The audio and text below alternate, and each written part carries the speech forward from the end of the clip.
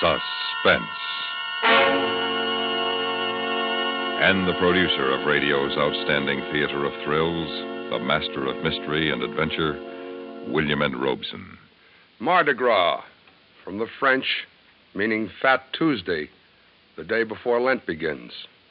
Carnival, from the Latin, meaning goodbye to meat. And Bible, from the Greek, meaning book. Put them together and they spell terror. Terror for John Lund as he plays The Man Who Stole the Bible, a tale well calculated to keep you in suspense.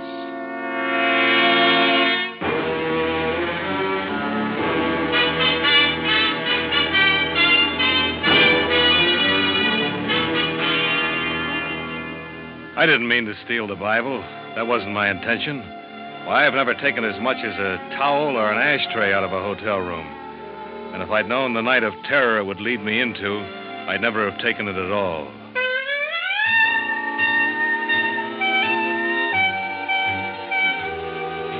Mardi Gras in New Orleans. A gay time, a lot of laughs, if you're in on it. But me, I was stuck in a stuffy hotel room waiting for a call from the boss. And the sound of all those people out in the street having fun got on my nerves. Operator. Operator. Oh, come on, operator. This is operator. Uh, this is Mr. Cummings, room 302.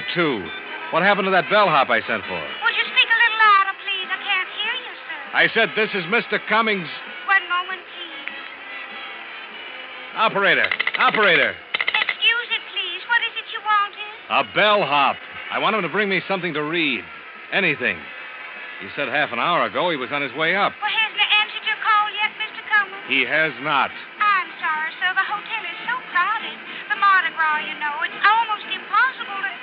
Just a moment, please. Operator. Oh, nuts.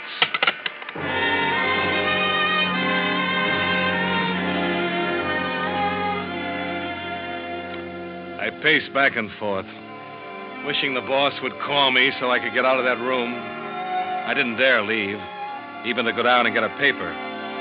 He's that kind of a guy. He expects you to be on tap all the time. There was no radio in the room and nothing to read. I went through all the drawers, hoping somebody had left behind a magazine or seed catalog, anything. And then I found it the Bible, the Gideon Bible. For years I've seen him in hotel rooms, but I never paid any attention to him. But now I opened the book. First Samuel, chapter 19.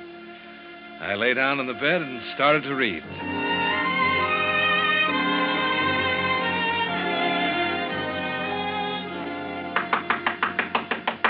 The knock surprised me. I'd forgotten about the bellhop. I got up to go to the door, and I realized that I had the Bible in my hand. It's a fine thing when a man feels embarrassed caught reading the Bible, but that's how I felt embarrassed. I stuffed it under the pillow and went to the door. Oh, you sure took your time. Oh, I thought it was the bellhop. I'm the house detective. Sorry to disturb you. That's all right. What's the matter? Well, it seems that the woman who had this room before you lost her pocketbook. She thinks she left it here. I'm sorry, there's no pocketbook here. Well, I'd better take a look. I'd have seen it if it was here. Come on in if you want. Thanks. See, there's no pocketbook here. Yeah, but she's sure she left it here. I'll have to go through everything. There's nothing in there but my stuff. Do you have to go What's through? the matter? Don't you want me to look for it? No, no, it isn't that, but I've been through all those drawers already. You'd be surprised at things people leave behind in hotels. Yeah, yeah, I guess I would be. Hmm. Nobody else has been in here, have they? No, nobody. I can't even get a bellhop in here. You've been out of the room? No. And look, I'm not responsible for anything that was left here. No, of course you're not. Well, I'm sorry to have bothered you. That's all right. Say, tell that bellhop to get up here, will you? Yeah. I'll tell him. Good night. Yeah, he was a strange guy. But then all house dicks are. I lay down again and went back to reading the Bible. Once I got used to the old fashioned language, I found it pretty interesting. The story of David, anyway. A guy being chased by everybody and not knowing who his enemies were, every minute expecting to get killed. I was down to the part where David's wife puts a dummy in his bed as a decoy to save his life when I was interrupted again. This time, I automatically stuck the Bible under the pillow and went to the door. Hello. Oh, hello. I uh, wonder if you could help me. Well, I. I'm having a most awful time. I tried and tried, and it just won't work. The room's so stuffy. How's that? The window in my room, it won't open. Would uh, you open it for me? Oh, I sure. Which room is it? Right next to yours, just around this corner, room 300. You know, I have the same trouble on buses. The windows never open. It drives me mad. You can see how stuffy the room is. Hmm. This window? Mm-hmm. Isn't that odd? It opened for you. Yes, it did, and easy, too. And so does this one. I Can't understand. Are you sure you tried? You don't think I'd come to your door and ask you to come over here if I didn't need something, do you? It's been done. Maybe, but I wouldn't know. Um, now that you're here, wouldn't you like to have a drink? Be a trouble, I mean. No, I don't think I can. You can watch the parade much better here than on your side of the building. Oh, no, I can't. What's the matter? I'm sorry. I have to go. That's my phone. Wait, wait. Don't go. You can have the call transferred here. But it's silly to go all the way back to your room.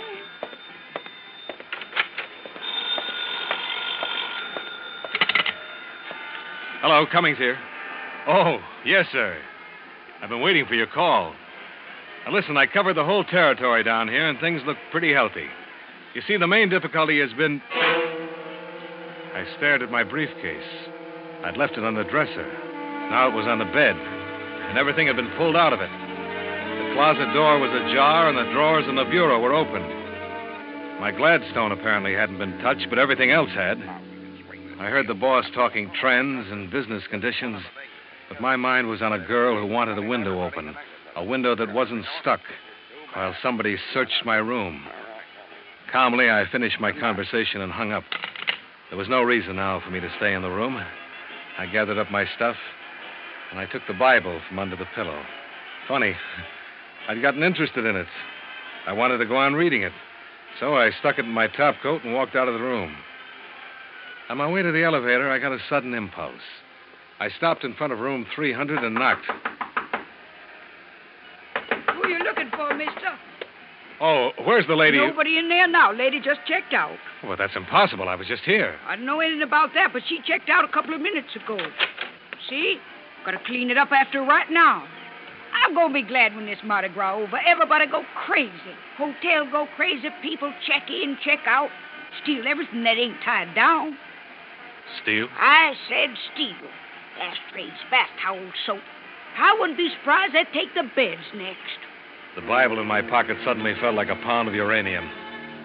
I wondered if the cleaning woman could read the guilt on my face, but she put her wastebasket down in the hall and went back in to clean the room. For a second, I considered taking the Bible back to room 302. And maybe I would have, if it hadn't been for the discarded book jacket in the wastebasket. It was gaudy, red and yellow. I grabbed it up, put it around the Bible. The title read, You Will Die Tonight. Call for Dr. McManus. Dr. McManus, please. Front boy. Front boy. Show this gentleman 506, please. Oh, you check it out, Mr. Cummins. Uh, let me see. You in room. Uh, 302. 302. Oh, my. What's the matter? I've had so much trouble over that room. I was supposed to hold it for a lady, but you can't keep rooms vacant during Mardi Gras. I gave her the room next to yours, but she kicked like crazy, the manager. Next to me? Yes, room number 300. She just checked out a few minutes ago. I don't know what this is all about, but there's something peculiar going on in room 302. Peculiar? I didn't mind the house detective coming in to look for the purse, but I didn't like having my stuff searched while I was out of the room. Search? Yeah, I said searched. Now, you say the house detective did this? He said the woman who had the room before me left her purse. Oh, and that but he had... that's impossible. What do you mean? A man had the room ahead of you. Oh, yeah, I'm positive of it. Uh, just a minute, I got the register right here. Uh, oh, yeah, yeah, a man, uh, uh, Mr. Gregory. Now, the house detective isn't on duty today, but when he comes in Not tomorrow... on duty. Well, then what was he doing in my room? Today? Of course, today, tonight. A tall guy with oh, black hair. Some mistake, Mr. Cummings. Our house detective, Mr. St. Clair, is short and bald. And he hadn't been in the hotel all day. He's homesick. Well, it had all the makings of an interesting little intrigue. But I left the mystery of room 302 with the room clerk and went to the cigar stand. It was 8 o'clock. My train wouldn't leave until midnight. Yes, sir. What'll it be? Cigarettes or cigars? Cigars, uh, three Coronas. Uh, no, uh, make it six. Yeah, always like to sell cigars. Men don't smoke cigars like they used to. Cigarettes, that's the fashion today. They give me a good cigar every time. Somebody's having a good time. Ooh, they all have a good time during the carnival. Say, I wonder where I could check my bag and briefcase for a little while. Want to see the parade?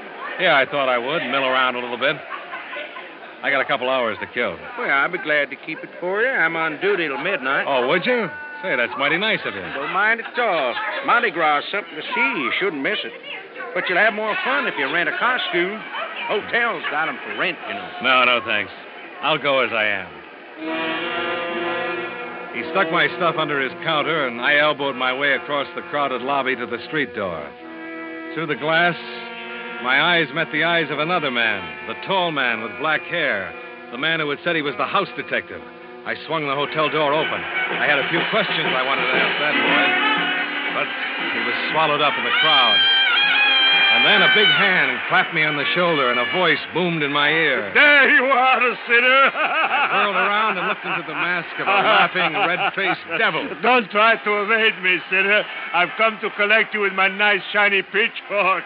And when the devil comes for you, your time is up. All I could see in the mask was a pair of eyes. They were green eyes, and they were laughing. And the devil threw his arm around my shoulder and urged me along the street. I balked a little. I hadn't had anything to drink. The whole thing seemed kind of silly, but before I knew what happened, a clown grabbed my other arm. Let's take the sinner to the fiery furnace. And the two of them, the devil and the clown, were propelling me down the street toward a parked car. Come along, sinner.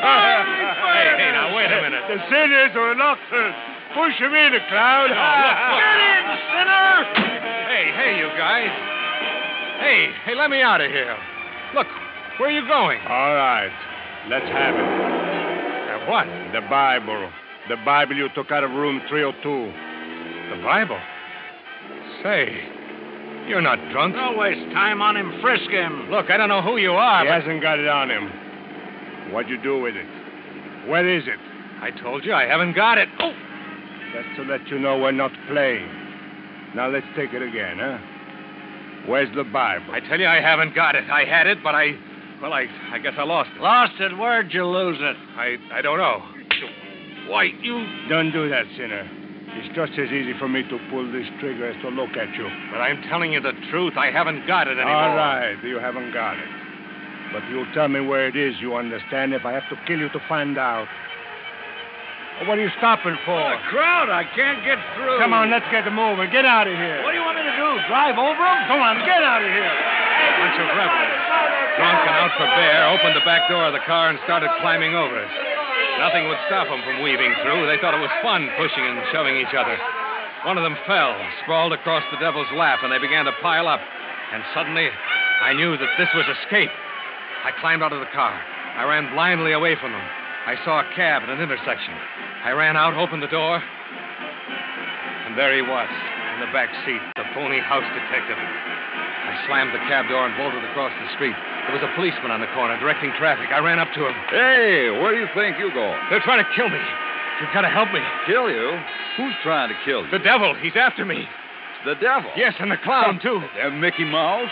I mean it. I'm serious. You're drunker than you look. I haven't had a drink, I tell you. They're trying to kill me. And why would they be doing that? Because they want the Bible. The Bible. Yes, you see, I stole the Bible, and here they come now. Who? The devil and the clown across the street. Look, you've got to get me out of it. You've got to stop them. They'll kill sure, me. Sure, now, now, take it easy, young Oh, fella. there you are, sinner. Come on. What are you trying to do? Get us in trouble? Trouble? Sure, he's going to miss the party. It's all a trick. Don't listen to him. This young fella claims you're trying to kill him. To- me? Oh, not me. But if he doesn't get to the party pretty soon, his wife is going to kill him. I haven't got a wife. There isn't any party. They're lying, I Now, tell be you. good, boys. Move on. I got to keep this traffic moving. All right, come on. You heard what the policeman said. Come Please, on, officer, Sinner. please. Come on, Sinner. Let go of me. Officer. Beat it now. Go on with it. I demand to be arrested. Go on, I demand said to... now. Go on now. Oh, officer, you're a fool. I'm a what? If it weren't for Mardi Gras, I'd run you in. And you won't arrest me, huh? Okay. But remember, I didn't want to do this. Dirty Yankee trick. Striking an officer. All right, young fellow, that does it. You're under arrest.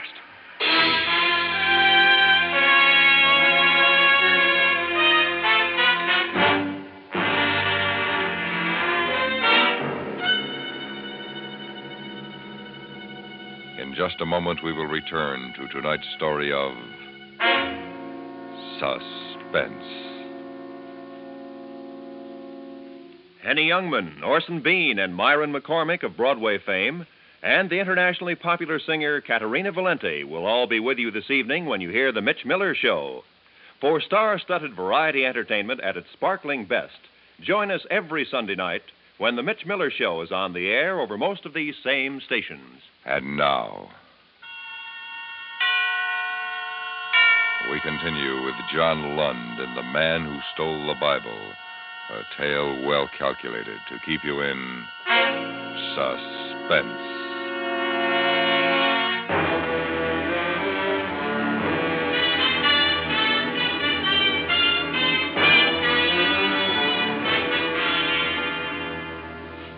I sat in the drunk tank in the New Orleans jail and tried to figure it out.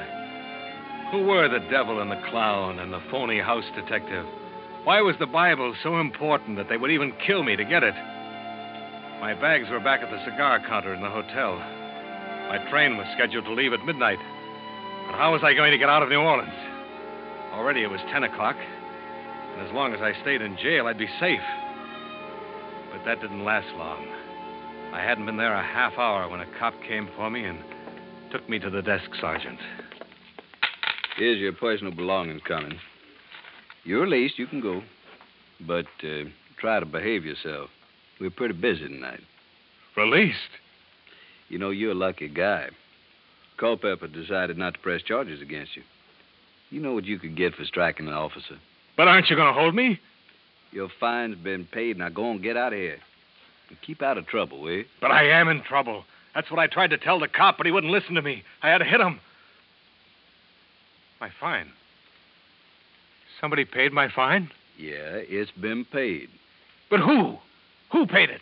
I don't know who it was. He didn't give me a name. He just paid it. Was it a man in a devil's costume? Huh? Or or a clown? Now, look. What did he look like? How do I know what he looked like? He was an ordinary looking guy. Tall, big. He had black hair. The house detective. The who? They'll kill me, I tell you. They'll kill me. Pardonnez-moi, monsieur. Je suis perdu. Je voudrais retrouver le convent. Les gens dans la rue m'empêchent I hadn't heard her come into the station. She moved so quietly. She was a nun, and she was talking excitedly in French. I wasn't paying much attention to her. I was thinking instead of my own problem. Look, I'm sorry. The house detective had paid my fine. He wanted me out of jail. He wanted me loose on the street. Why? And the devil and the clown. Were they with him? Were all of them waiting outside that door for me? Please, sister, I wish I could help you, but I can't understand a word you're saying. Monsieur, les gens dans la rue m'empêchent de trouver mon chemin. Ils me prennent pour un célébrant. English. Can you can you speak English, sister? Pardon, monsieur. Un masquerade, costume. People think masquerade. No masquerade. Huh? I think she's trying to say the people on the streets uh, think she's wearing a masquerade costume. Ah, merci. Merci bien, monsieur. I am loose. You mean lost? Oui, monsieur, lost. I am expect at convent. The vieux carré. The Vieux Carré. That, that's the French Quarter. Exactement, oui. I drive for taxi cab. The crowd, oh, you see, push me around. Voudriez-vous envoyer un gendarme pour m'assister? What? The gendarme. Uh, she wants you to send a policeman to help her get to the convent. Oh oui, monsieur. Oh. Well, I'm sorry, sister. I'd be glad to, but um, I don't have anybody in right now. If you don't mind sticking around here for a while, I'll be very. Speaking around. Uh, the sergeant says he's sorry. If you'll wait, uh, there's no one available right now to help you. Wait a minute. The nun stood there, frightened and bewildered, out of place in the police station. But, but for me, it was a miraculous break. Why, sure. I could walk out of that police station with her. And if they were waiting outside, waiting to get me, why, I could walk right by them. They wouldn't dare touch me as long as I was with a nun. I could take her to the convent. And once there, I'd be safe. Je suis désolé. Je ne sais que faire. I'll take the sister to the convent, Sergeant. It's okay with me if it's okay with her. Ah, merci, monsieur. Merci mille fois. As she walked out of the police station, I took her arm. To help her, yes, but also to steady my own fear. Any minute, I expected to see one or all of them the devil, the clown, the house detective. But they weren't in sight. There were people milling about in the street, but, but not the three I feared. And strangely, not finding them there frightened me more than ever.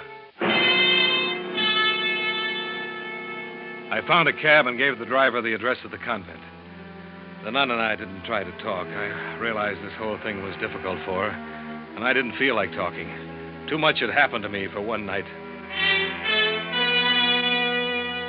The cab pulled up in front of an ancient building in the French Quarter, crumbling cement and wrought ironwork. We got out, and I walked with her to the big front door. The nun raised her hand to the knocker, and I knew I'd been had. Qu'est-ce qu'il y a? Fingernails. Red, polished fingernails. You're not a nun. Hey, where you been? Hurry, boys. He's wise. Come on, you. Get inside. It was the devil and the clown. They yanked me into the house. And the girl, I stared at her. Back in the police station, I hadn't really looked at her face. Her black robes had spelled freedom to me. That's as far as I'd thought. But now I knew I'd seen her before. Only before she'd worn a green dress and a scarlet mouth to match her fingernails. And her hair had been blonde and long, and she wanted a window open. A window that wasn't stuck.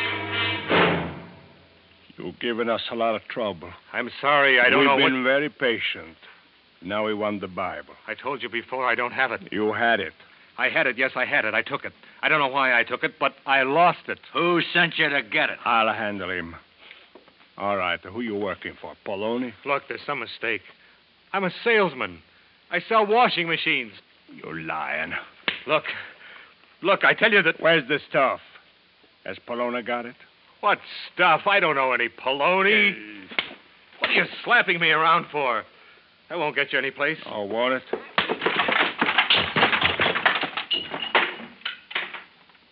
Let me talk to him. Look, if you're covering up for Poloni, Who's, who's Poloni? I don't know any Poloni. Poloni wouldn't take a beating for you. But I tell you, I don't Whatever know. he's paying you, we'll pay you more. We'll pay him nothing. He'll hand over that Bible or tell us where the junk is stashed, or so help me, I'll kill him. Dope. So that's what it is. Dope. Yeah, Mr. Innocent. That's what it is. Dope.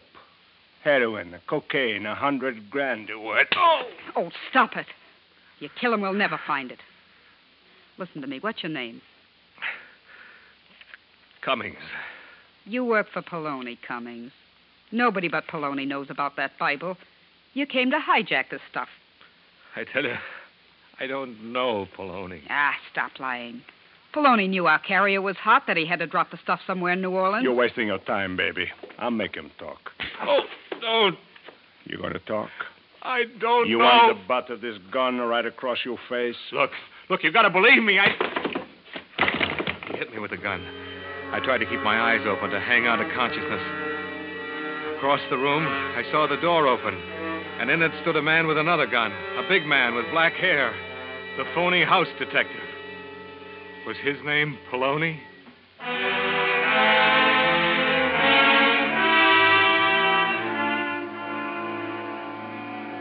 I didn't know how long I was out.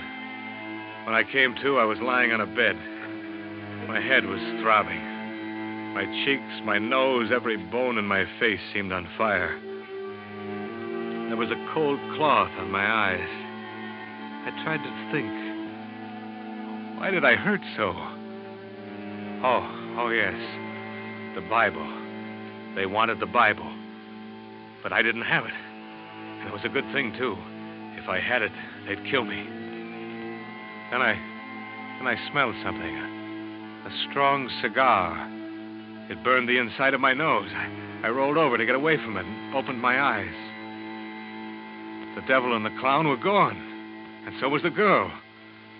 I was alone with the phony house detective. All right, let's not waste any more time. What did you do with the Bible?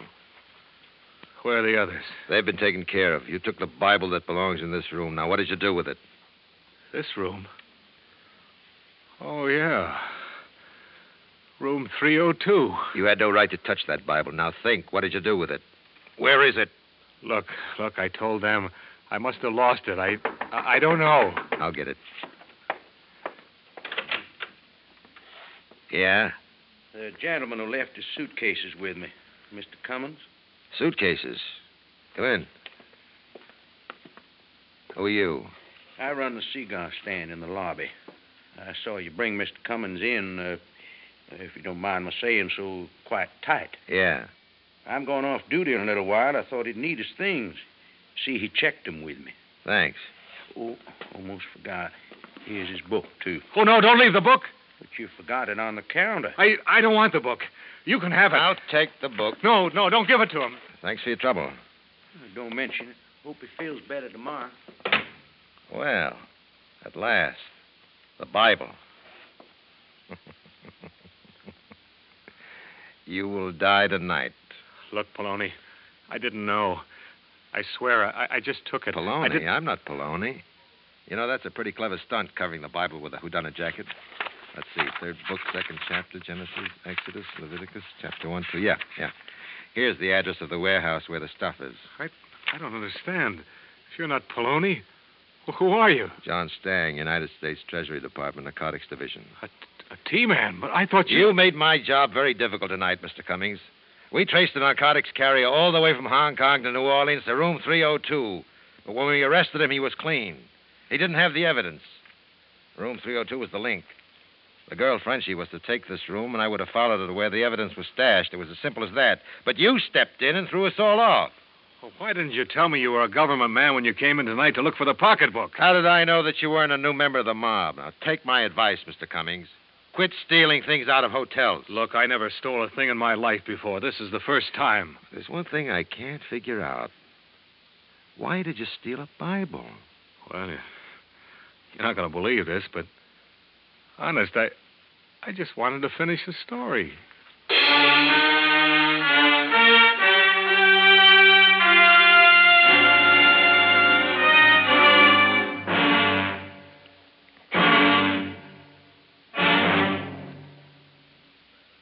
Suspense.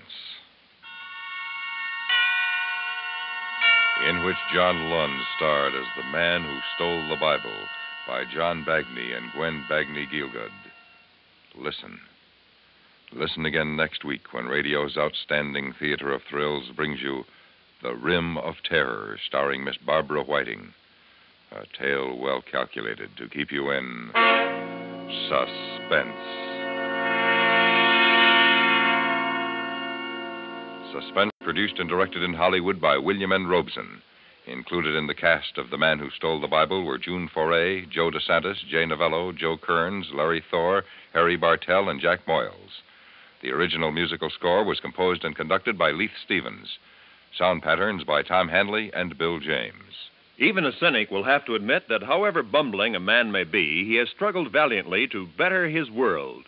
Our faults notwithstanding, our civilization is a vast improvement over primitive social arrangements. And perhaps most impressive of all of man's labors has been his consistent effort to protect the principles of justice as he has come to understand them over the years. How justice is served may vary from place to place and time to time, but always it is a thrilling demonstration of man's love of fair play. For examples of modern day efforts on behalf of justice, be sure to hear Indictment over most of these same stations today. It's yours for the listening right after the news, which follows immediately on most of these same stations.